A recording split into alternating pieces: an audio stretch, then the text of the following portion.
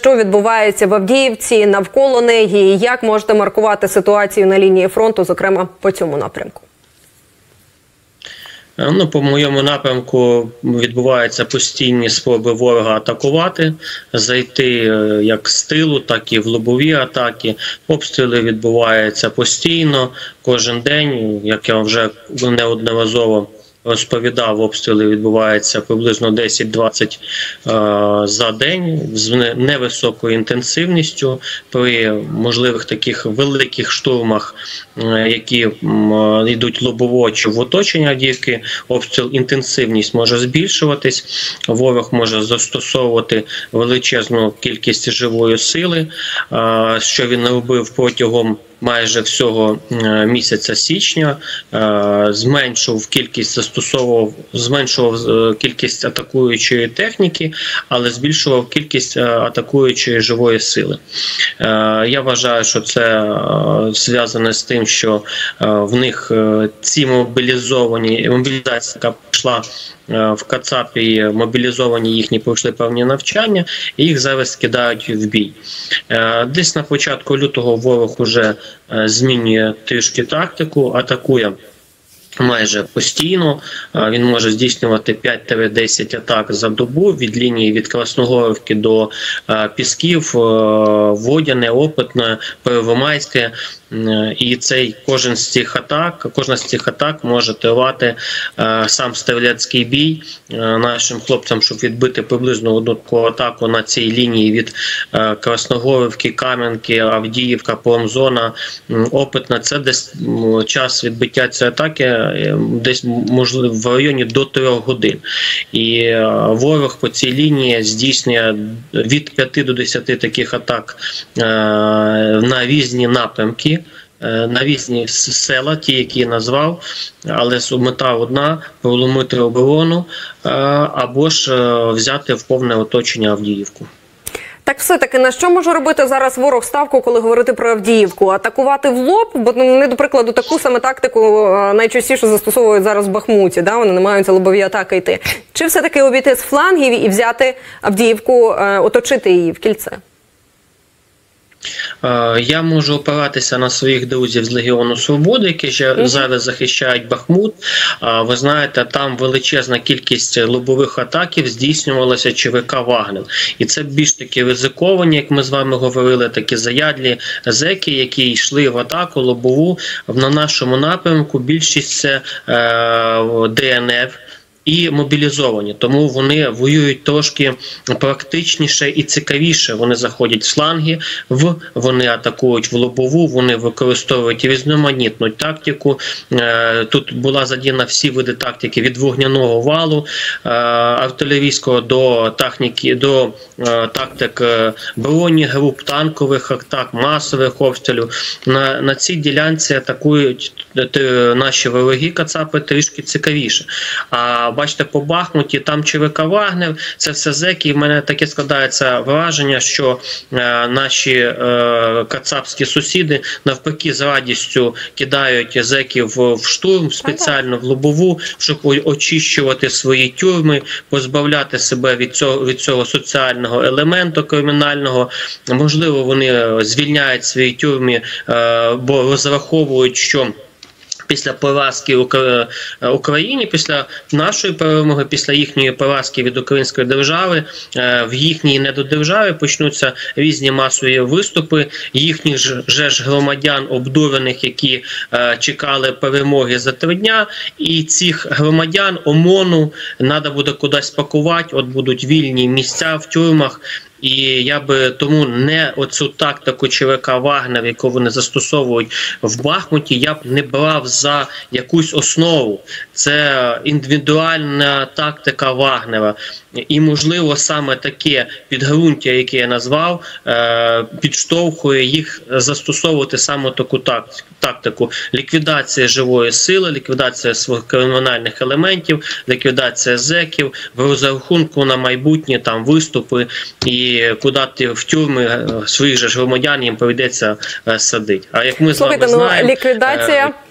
Ліквідація проходить е, вагнерівців достатньо успішно завдяки нашим славетним героям е, Збройним силам України. Тому що сьогодні прийшла інформація про те, що вербувальники Вагнера по другому колу вже поїхали по тюрмах збирати тих, кого не дозбирали перший раз. Більше того, тепер вербують навіть жінок. І наскільки я зустрічала інформацію, зокрема, жінок вербують жінок ув'язнених мається на увазі. Зокрема, вербують і в тюрмах так званих ДНР і ЛНР. Е, Чи зустрічали ви зокрема на полі бою? Ви кажете, що напроти вас на вашому напрямку, зокрема Авдіївському, ем, ем, є і ДНРівці, так звані. А от є серед них жінки. Е, Звичайно, є, тільки ну я їх не не бачив в окопах, і плюс того відстань, навіть якщо ти знаходишся в відстані 50-70 метрів, це найближча, е, який я поймав стрілецький бій. На жаль, я не, не зміг там ось дивитися, і в принципі я не вдивляюся в очі своїх ворогів. Мені нема що бачити в тих очах. Е, Я вважаю, що кожен достойний український воїн повинен просто знищувати е, наших ворогів, які прийшли на нашу землю, і сильно не вдивлятися ні в стать, ні вік, ні в інші якісь е, нюанси цього ворога. Вони, як я вам казав, зробили свій вибір. Вони прийшли вбивати нас е, тільки за те, що ми хочемо бути українцями, бути незалежними. Тому для мене всі ці нюанси, жінки, діти, хто там чоловіки, там старі, молоді, це їхній вибір. І е, так як я теж зробив в 14-му вибір, я цілком свідомо добровольцем пішов на фронт. Тому я вважаю, що це. Е, А щодо мобілізації в Росії, в, в, в так званому ДНР, е, ЛНР чи ще якихось там недореспубліках, е, цілком можливо. Це територія беззаконня, де можуть просто тебе безробітних мобілізувати, де можуть будь-кого мобілізувати, відправити на фронт і так далі. Там абсолютно повністю не діє фронт, о, не діє закон, прошу вибачення. Також ми з вами знаємо, що після захоплення українських міст там Лисичанськ, Волноваха, Маріуполь було примусове е, примусова мобілізація місцевого населення. А ті, які е, не мали, скажімо так, справку, яка звільняє від мобілізації, але вона звіль- звільняє в правовій державі. А в таких е, бананових республіках. Республіках цих людей, які мали справку, відсилали на розміну- розмінування мінних полів в атаку е, лобову і так само очищували і, і одобряли ними наші українські землі. Тому цілком ваша е, репліка е, цілком на 100% відповідає дійсності, навіть е, Я розумію, пан Максиме, що жодної емпатії ем, власне до тих, хто навпроти, наші військові і не мусять мати, зрозуміло з яких причин, але можливо про те, що потрапляли в полон ем, е, до вас і представники, зокрема ДНР. От цікаво, знаєте, що вони говорять про свою мотивацію. Чи вони також, як і ті мобілізовані, казали, що вони думають, що вони на ученнях тут, знаєте, і таке інше. Чи ці люди принципово добре розуміють, чому так все відбулося? Ви знаєте, це питання було б дуже гарно задати в 2014 році.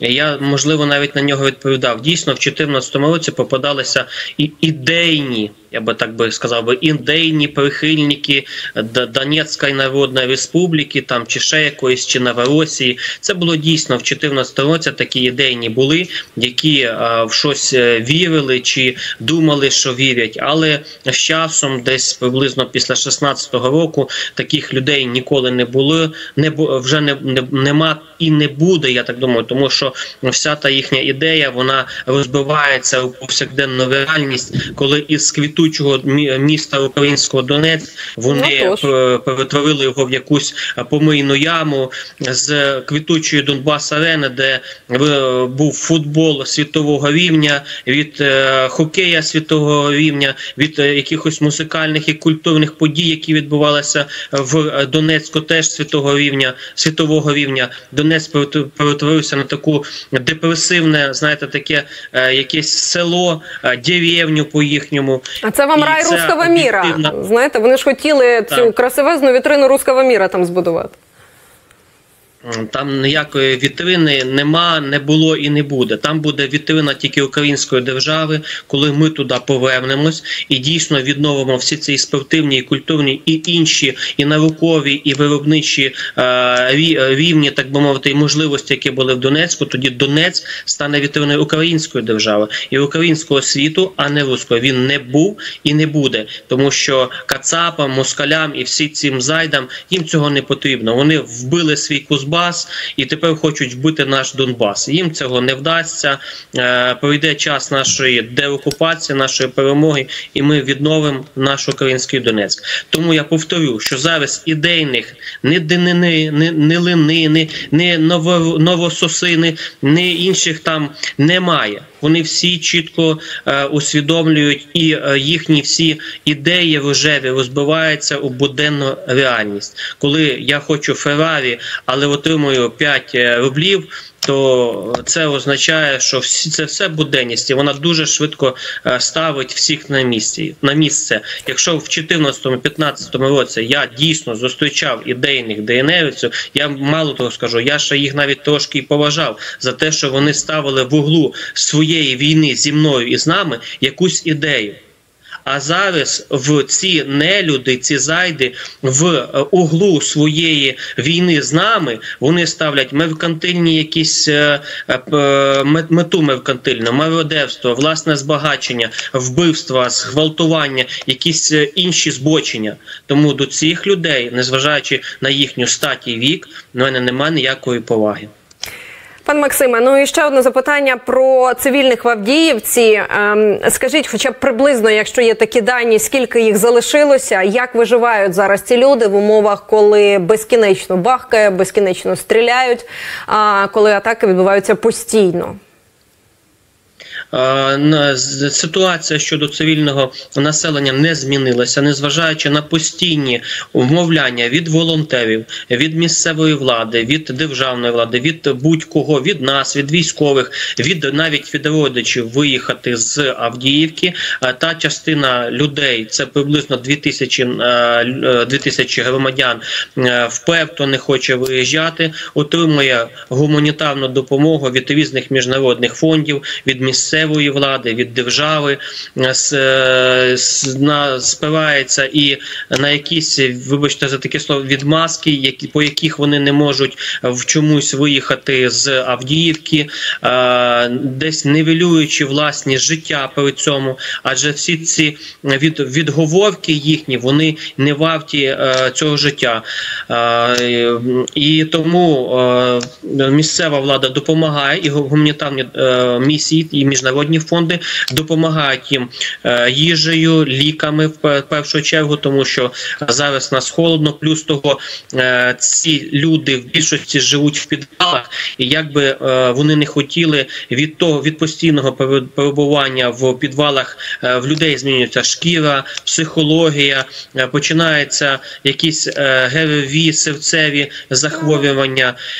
Звичайно, і спасає те, що на початку війни дуже багато гуманітарних е, і волонтерів привозили буржуйки. Люди якось з цих буржуйків щось робили, ріжуть дерева. Ми надзвичайно просимо, а деколи і вимагаємо від людей, щоб якщо вже не ми розуміємо, що їхнє життя ці- цінне, але ми просимо дерева різати ті, які побиті від е, прильотів, тобто від арти, від мінометів. На жаль, трапляються якісь такі е, полу, полулюди, які хочуть і ці одинокі вцілілі дерева в Авдіївці хочуть зрізати, тому що це якась акація, а- а це от краще дерево. Е, Тому пальне також надає їм місцева влада і волонтери. Це брикети, вугілля, те саме. Ті, ті самі порубані дрова е, їм в цьому плані також достатньо серйозно допомагають. Єдине, е, що все-таки немає розуміння е, в батьків в першу чергу, тих батьків, чиї діти і вони лишилися в Авдіївці. Якщо люди пенсійного віку, я розумію, що я чи будь-хто, чи навіть їхня дочка і внучка ніколи не пере- переконає пенсіонерку чи пенсіонера виїхати з Авдіївки. На жаль, це люди старшого віку, вони впевті, нічого їм довести чи переконати неможливо. Але Але коли в Авдіївці лише залишаються ще діти. і їхні батьки, мої однолітки або деколи й молодші за мене, і ти нічого не можеш їм пояснити, що життя їхньої дитини важливіше, ніж ця гуманітарка, на жаль, відбуваються певні кризи і в тих людей, що просять. І ця історія шести- шестирічною дитиною Елію, яка загинула під час е, обстрілів від серцевого нападу, тому що молод- мале дитяче серце дитини не витримало цих постійних обстрілів. На жаль, нічого не змінило в мізках цих е, батьків. І тому, якщо ще раз повторю, якщо пенсіонери, вибачте за таке слово, та вже Бог з ними, їм нічого, то мене дуже і дуже дратують і дивують батьки мого віку і десь молодші за мене, які чомусь Не можливо заради дітей. гуманітарки впираються і не виводять своїх дітей. І тому, користуючись нагодою, я би звертався до наших законода- законодавців, які би в, е, в рамках закона видали закон про примусове виселення неповнолітніх дітей з 25-кілометрової зони. Бо, на жаль, батьки або психологічно можливо подавлені від таких обстрілів, або якимось, але діти не винуваті.